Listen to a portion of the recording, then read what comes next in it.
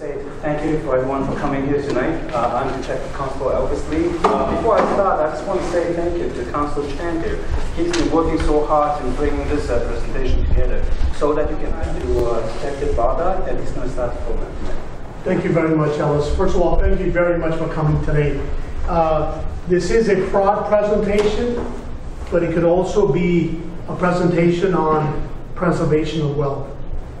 And you'll see that, that it's so important because all our lives, we're always working hard, but we forget the steps to preserve our wealth. And you'll see that in this presentation.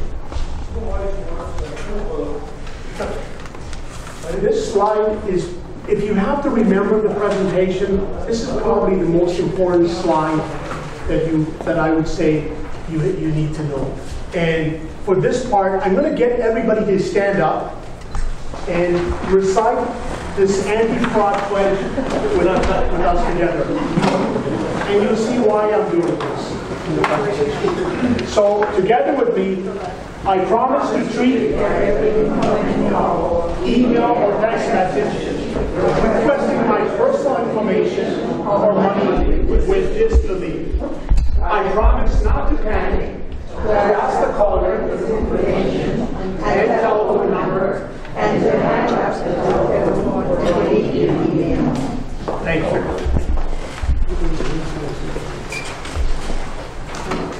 So we're not alone in fighting fraud.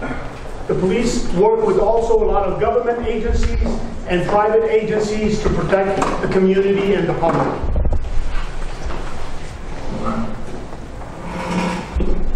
Let's, let's find out the level of our, what we know about fraud. So the first question is, if there's only a small enough amount of money involved, when somebody asks you, it's probably not a scam. Is that true or false? Oh, false. Good. Credit-based scams only occur when someone contacts you. If you get an email from the CRA asking you to confirm or prove your personal financial information, it's always safe to do so. It's like going to school again. And that's what it is. It's safe to enter your personal financial information into a pop-up window or a website.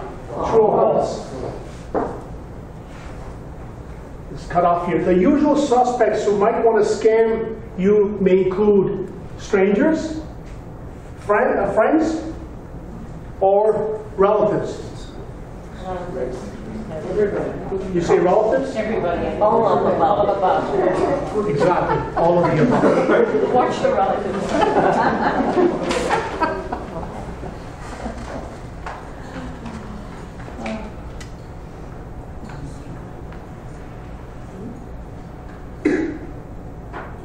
It's the number one crime against senior citizens. And why would you say it's the number one, why would I say it's the number one crime? Gullible. Gullibility? Vulnerable. Vulnerable? Trustworthy. Trusting? Trustworthy. Lonely. Lonely? So, in the 1930s, the, the FBI arrested this famous bank robber called John Dillinger. And they asked him, John, how come you rob banks? And he said, well, that's where the money is.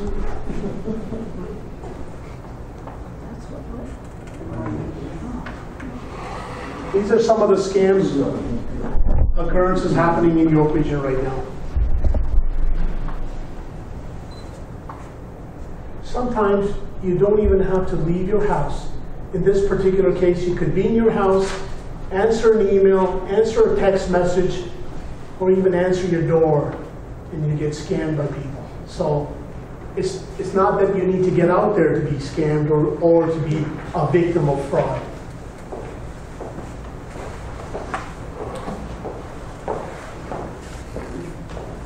This is the legal definition under the criminal code for, but for our purposes, it's somebody who's being deceitful, somebody who's lying to you, somebody who's using some sort of trickery and not being truthful and taking your valuables or your money. I just want to add something here.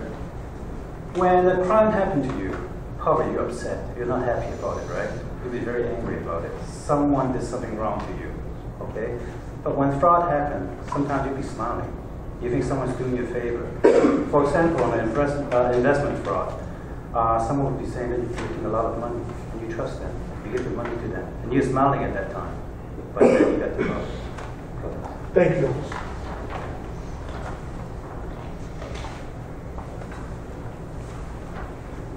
So these are some of the things that we can do. You know, fraud is something different from any other criminal offense. We're all here today, right now, and if somebody breaks into our homes or our cars, you know, we have no control of that because we're all here and nobody's home or nobody's looking after our car. But with fraud, it's a totally different type of criminal offense. You actually have control of this offense, whether it's going to happen or not. And you relinquish that authority. You actually, in order to, for the fraud to occur, have to participate in the criminal offense. So either by giving your identity, either by handing over your money, your valuables, or your, your personal bank account information for the offense to take place. So if you eliminate any one of these things, the likelihood of a criminal offense, fraud occurring, you know, you're protecting yourself. So we answered that, right? It used to be organized criminals and terrorists, but now the opportunists. Anybody who has a, has a vested interest or has an opportunity to deprive you, a lot of times it's, you know, family members. Right? You said vulnerability, when you become vulnerable.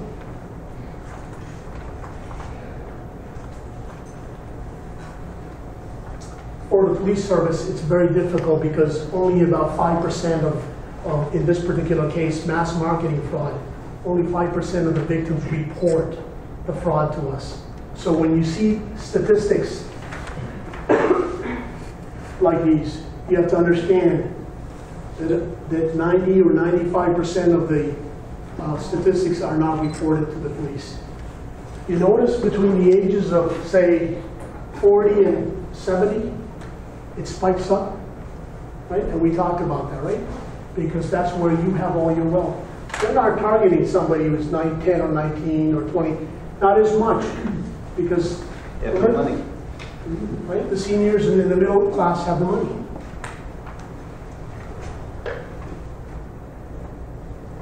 So if you live in Ontario and you're between the ages of, say, 50, 49, and 80, very likelihood of, of you becoming a victim of fraud.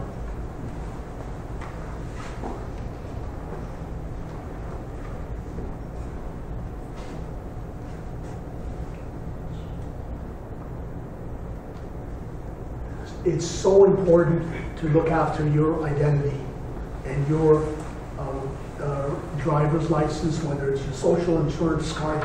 We noticed that a lot of the fraud investigations that we do in our service, it starts off with your identity is being compromised. Somebody grabs your driver's license, somebody grabs your passport, and with that valuable information, they can open up bank accounts, they can practically do anything they want with that uh, ID cards. Just a quick tips for you. Uh, if you're carrying your wallet and inside of your wallet you have your social insurance number and your driver license, if you lose that, I can create a profile on you, on your name. So therefore, don't carry those two pieces of ID together. You need your driver license to drive, no problem, but don't carry your social insurance number. Because once I get both two pieces of identification, then your credit is open to me. The three Gs? Yes. You guys talk about it. You guys are very good about it. Why do we get defrauded? Well, we're gullible. We believe what other people are saying a lot of times, okay? We don't question that. So what I need you to do after tonight is question everything. And suspect all the people, why they asking the question, why they want your personal information, why they want to transfer money and so on. Goodness, we're all good people. We want to believe, we want to trust in people. We don't think that people's out to rob us. But unfortunately, that's what they're targeting us on, on our goodness.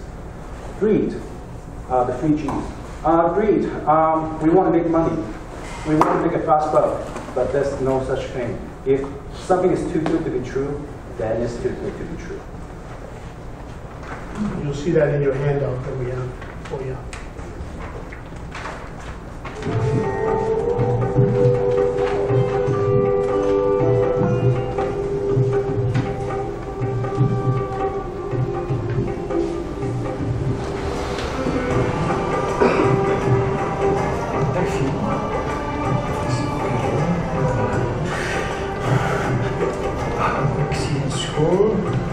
Ja, insecten. dat lief? Ik voel twee insecten op je, op je rug. Kan dat? Ja, vlinders. Slovenie, Slovenie voor hè? Nee, een moto. Oranje. Pas erop. Zenit. Oui, oui, bien. Je hebt een vriendin. eh Julie de... Ja, Een boeiend liefdesleven. Drie, vier. de vierde, daar zei ik meestal over, dus dat weten niet veel mensen. Wat is eens plus voor? Maison rouge, een balkon. Blanc. Ja.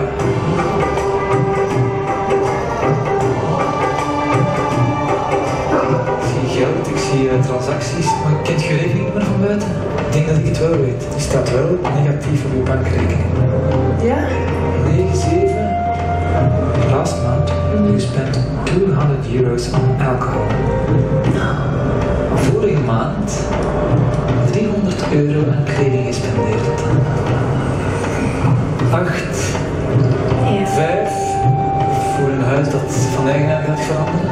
790.000 euro. Ja, eigenlijk.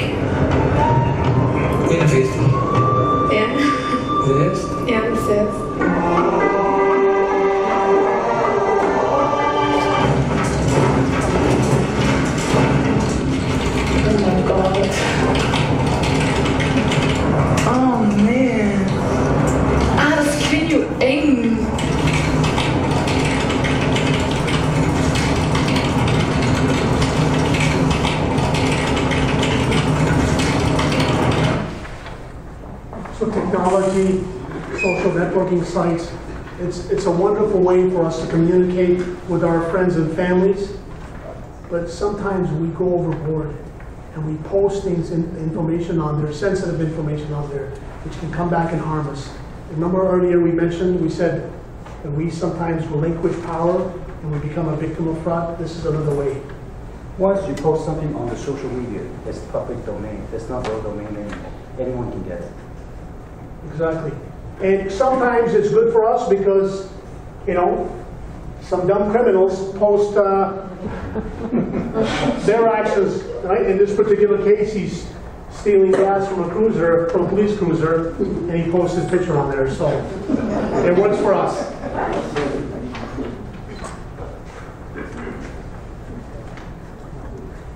Uh, This was an investigation a few years ago in Markham that we investigated, the major fraud unit investigated, and I'll, I'll just let the tape run and we'll go from there.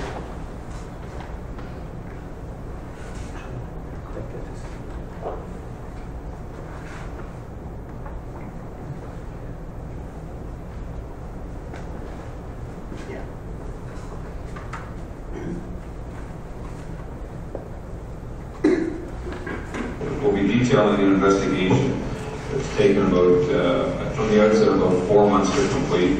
Uh, It's a fraud investigation with a total dollar value of approximately $10 million. Uh, In the spring of 2011, the York Regional Police, working in cooperation with the RCMP, identified suspect- uh, suspects involved in the production of fraudulent uh, immigration papers and employment documents. In July of 2011, a series of search warrants were executed in Markham and Durham region uh, by York Regional Police and Durham Regional Police. A search of a Markham address uh, revealed a large document lab containing printing equipment, forged documents, and computer equipment. Further investigation by the major fraud unit into this Markham address uh, led us to conclude there was a large organized criminal ring operating across the GTA, which was defrauding financial institutions, corporations, government agencies, and and insurance companies by using legitimate government identification obtained with uh, forged foreign passports. As a result of this project, York Regional Police laid 145 criminal fraud charges against 14 individuals. Search warrants resulting in the seizure of uh, two motor vehicles, uh, boat, uh, approximately fifty to seventy-five thousand dollars in cash, thirty-eight caliber uh, revolver and ammunition. You see how lucrative it is for the uh, fraudsters? So they continue doing that. In this particular case, a lot of the, the mail was compromised. So a lot of the theft of mail with, uh, with your IDs were used to manufacture in a lab in Markham. And from there, they were able to get other IDs and open up bank accounts, open up, uh, you know, documents under, under the uh, unsuspecting uh, victims because they were still waiting for their information in the mail. See, all they need is social insurance number, they get your full name from your mail, they get your address from your mail, and they get a date of birth from one piece of your mail. And there we go. They open the account.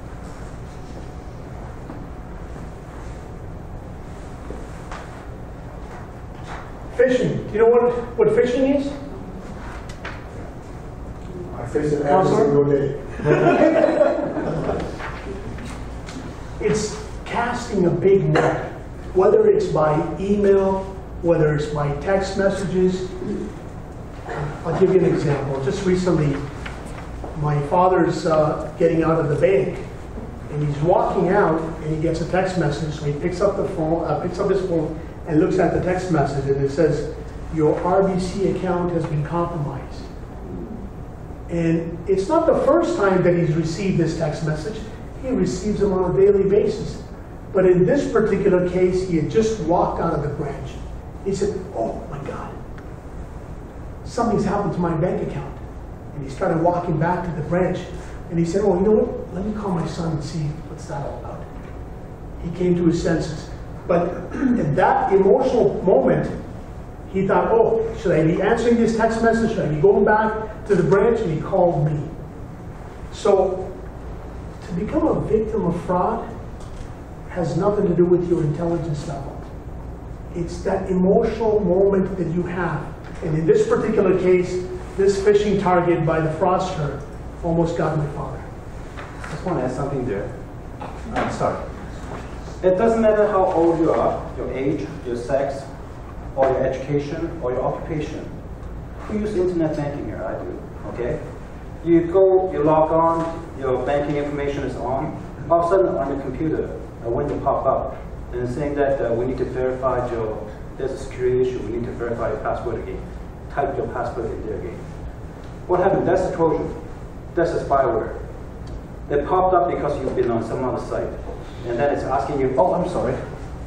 It's asking you information about your password.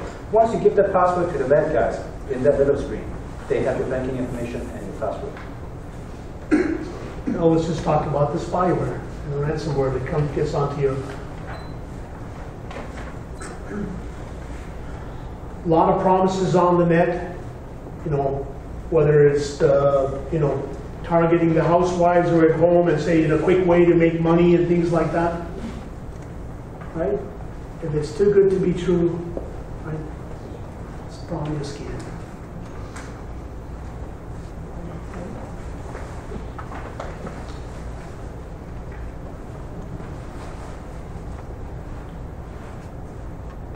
These are some of the best practices, right? When was the last time you changed your password to your account?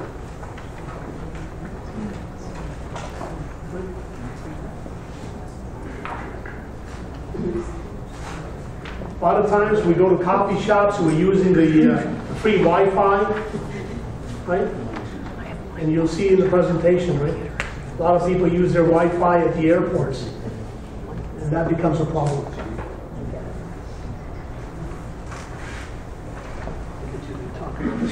We've got free Wi-Fi here too. Free Wi-Fi here? Yeah.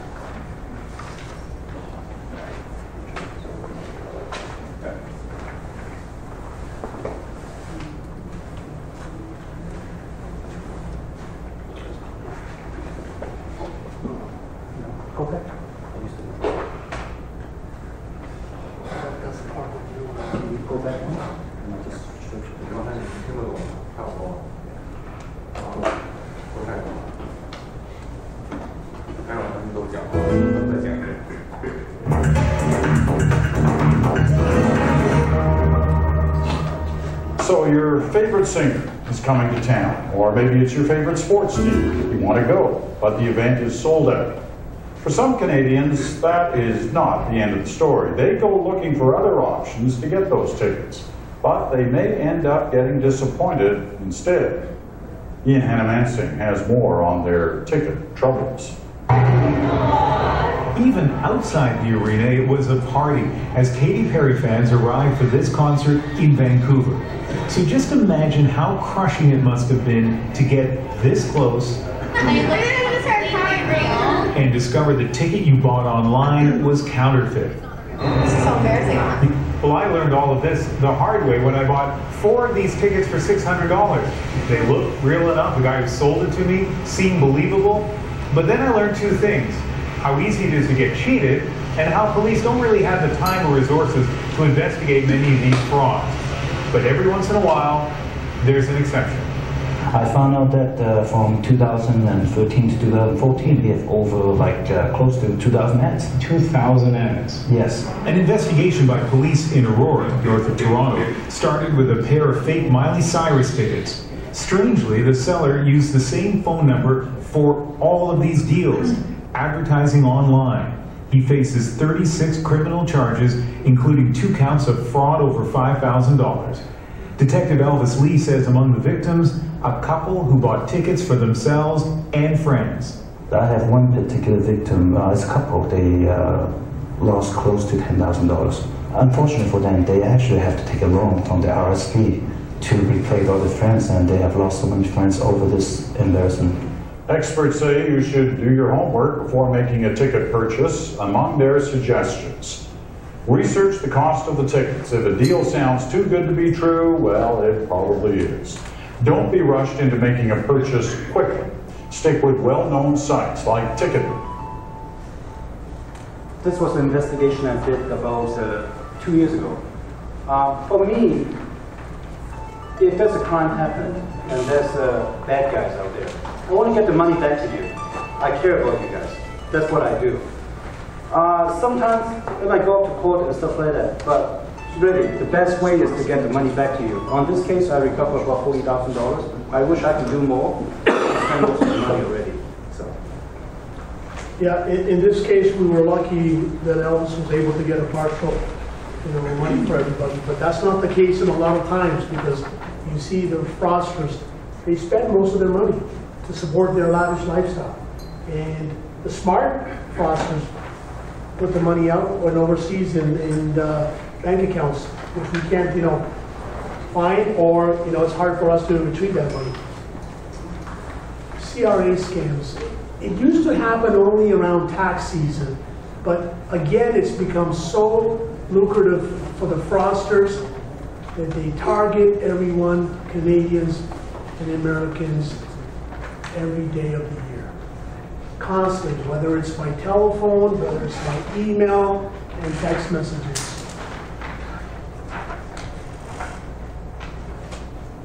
So a typical method is they'll call you on the phone and say it's the CRA, you know, you owe us some taxes from the past.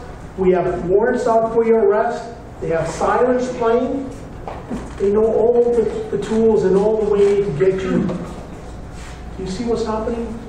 They're trying to break you down, put you in an vulnerable emotional state. Because we all know CRA doesn't call us. Right? They don't call. Right? They may send you a letter, right? And you can look at the letter and you can say, okay, call this number.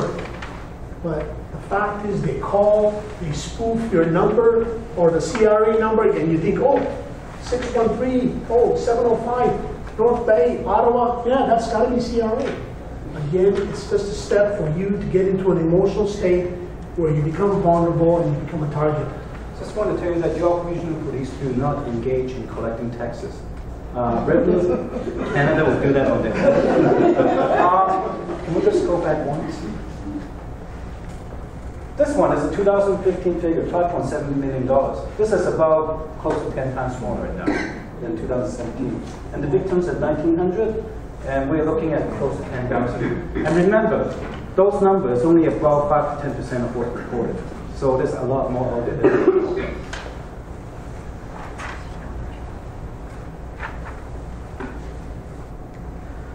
Money transfer scam. Uh, a lot of times, uh, the fraudster would be on the phone asking you to transfer money. Well, you, you're wondering, well, how, how are they going to get you to transfer money? Well, they can say that you want a prize, you want a lottery, $50 million, $10 million. But the catch is, uh, well, because you want the money and uh, we need to uh, administer the money for you, you have to send us some money first for the administration. Then, if you fall for that, they're going to ask you, uh, you're going to pay tax on those money. Give me some more money for your tax.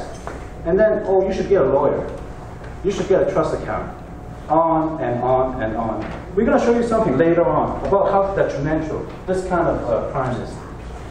Um, you want to go on this? Yeah, go ahead, yeah. On this one, uh, currently there's a trend going that uh, you would get a call, and that uh, they would say that uh, are you so and so? They have your name already, and they would say that usually from China, uh, targeting Chinese population, and in Mandarin they will speak in Mandarin. They said that this is the Chinese police. Uh, we have uh, apprehended person, and they have information about you and your bank account we believe that your money is uh, is uh, activity, uh, uh, criminal activities from crime, obtained from criminal activity, and and it's criminal money. So we want that money to send to China into the courthouse to prove that the money is legitimate. After you send the money, it's gone. Okay. Just something about, just on this part, uh, detective, is it possible for uh, Nick just to speak briefly in Mandarin because this is actually what's been in the news for the last few days. Yeah, we're, we're coming to that. The, Oh, okay. This one. We're coming to this one? Yes. to Please hold the questions to an end, sorry. Did you want us to elaborate on this? Because we get a lot of the government. Well, that's why I thought, particularly in the language, people feel not very comfortable.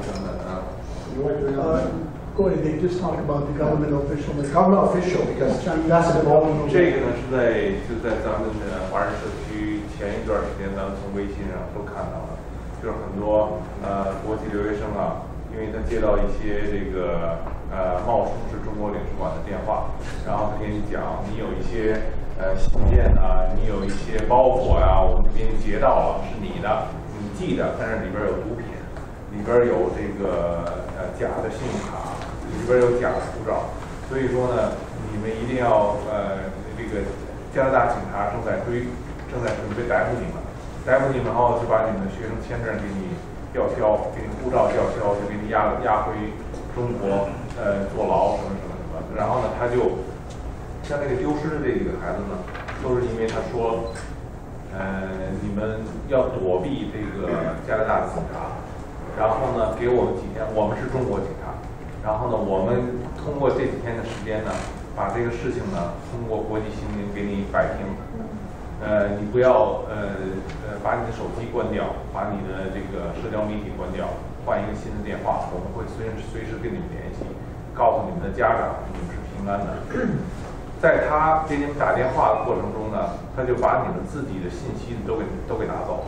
你比如说，呃，打电话的时候，他说：“哎，这是你的包裹，你叫什么名字？”很多人就把自己的名字告诉他，你的地址，很多人就把地址告诉他，然后就把家家里家长的名字告诉他，家长国内的电话告诉他，什么都告诉了以后，然后他说：“你自己消失吧，你消失，跟别跟任何人联系，十天的时间或者一个星期的时间。”等你把所有的手机都关掉的时候，他就开始给你家里边亲戚打电话，你的孩子都被我们绑架了，掏钱吧。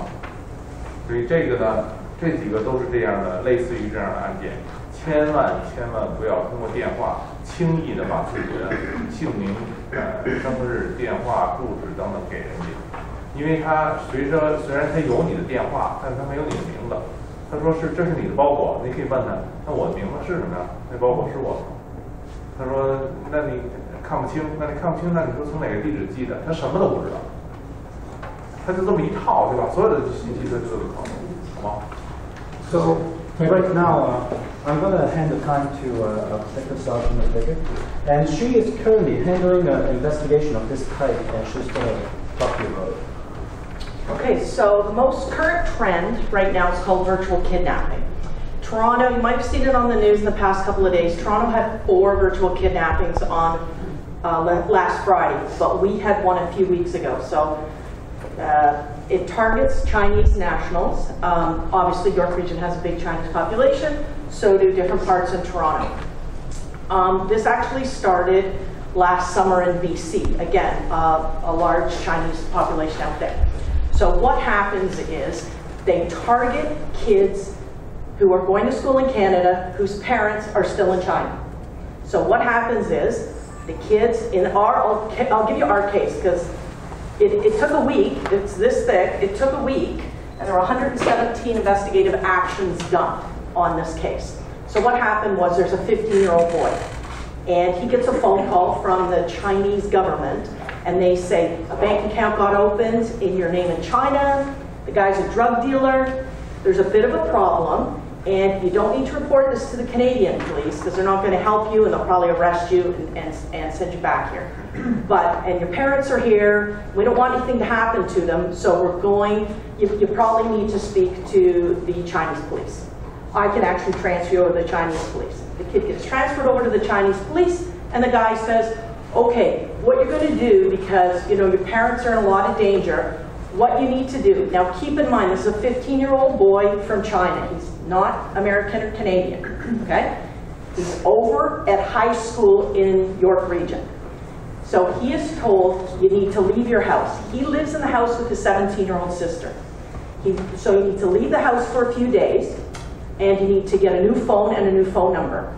You can use the WeChat app on your phone, and we're going to contact you and tell you different things to do, but you got to get out of the house like right now and don't come back until we tell you. So this kid leaves. Uh, a short while later, his sister gets a phone call um, from China saying that your brother's been kidnapped. And you better get a hold of your parents because, what was the amount, Nick? Like, it was Five, five million. million, five million dollars RMB. What is that This, mean? uh, that's uh, one million dollars Canadian. Okay, so a million, so I want a million bucks. So the daughter phones her dad and says, Dad, so-and-so's been kidnapped, my brother's been kidnapped, I won't tell you his name, and um, we gotta pay them a million dollars. The girl reports this to us right away. Now, we hadn't heard virtual kidnapping up until a few weeks ago, thank you the RCMP, but anyways, we didn't know. So we uh, initiate a report, Nick just happened to be the officer, and a report was in and then my detectives have to investigate it. Long story short, the parents come over from China and they thought it was a scam of some sort. We thought it was a scam straight away, but we thought the boy was involved in the scam, trying to scam his parents out of money. Um, so the, the kidnappers call back and they say, okay, we want a million bucks. Then the parents are like, no, we can't afford that. A large sum of money was paid. It wasn't near a million dollars because the parents were concerned, and out of the abundance of caution, they decided to uh, pay some ransom.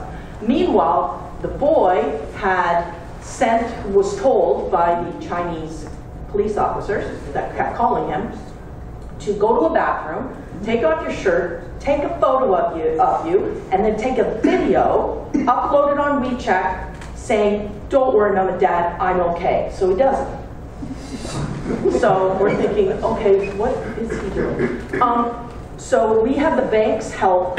Uh, they can get us banking information straight away. So the kid had an ATM card.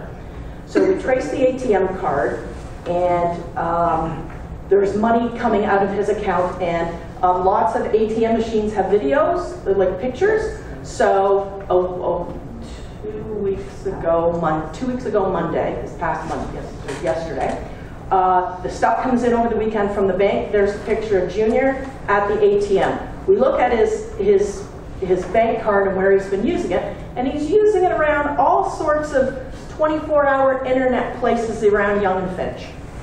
So go down to Yonge and Finch because we're going to find him down there because he was down there on Sunday. It's only Monday morning. He'll be down there. They find him in a Starbucks. Now, we hadn't heard about virtual kidnapping yet, so we arrest him because we think he's involved in the scam.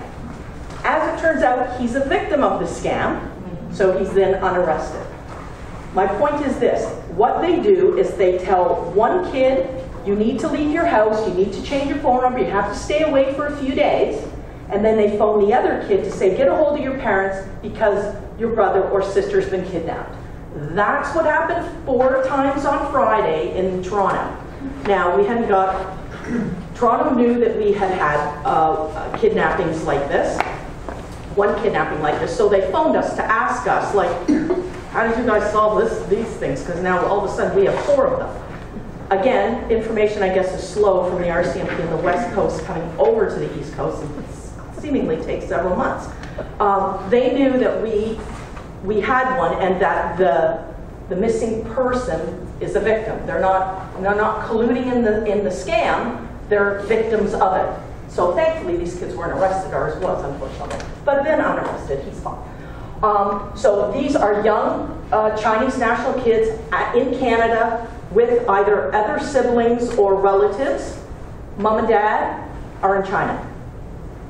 So what we're doing now in York Region to try to stop this, not only Toronto did a great job of putting it on the TV, so now it's become, a, a, the public's more aware, but what we're going to do now is go get our school officers to hit all the high schools. We're going to identify these Chinese national kids because that's the only people it's happening to right now. Now, Elvis told me when we were talking earlier today that this scam started with Spanish people, right? Mexican. Oh, Mexican. So, so right now, in our community, in the GTA as a whole, it's happening to Chinese nationals. So we're going to identify these kids in all the schools in Richmond Hill and Markham, Thornhill, Vaughan, and um, make them aware. If you get a phone call saying you need to do X, Y, Z, and it's the um, Chinese government and the Chinese police, we're going to ask them not to pay attention to it and to notify a teacher, guidance counselor, and or the police, because, I mean, they'll call us, but if the kids don't feel comfortable calling the police, they're young, they don't know us, they're not really good with the language, the school can do it for them. It's the utmost importance that people in the Chinese community are aware of this because your kids are being victimized and we need it to stop. Right? Because this kid, all he did for six days is just go from one internet cafe to another. He didn't, he didn't um, contact any friends because he was told not to. He didn't want anything to happen to his mom and dad, so he stayed awake for like a week. Yes. Question. I guess I have a concern as a mother and grandparent. How old are these, how old are the, the, the children that are living with these kids? Where is the legal age that they're allowed to be living?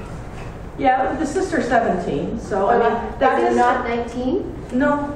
Okay. That, that is common, and many of them will have aunts or uncles in the general vicinity. Okay, but And years the- that wasn't the issue. A 15-year-old was taken care of. He was being taken care of by an, uh, an older sister. Okay. So these kids are all relatively young. They were teenagers. One was in their 20s. But these are the kids that were told, get out of the house because your parents are in danger.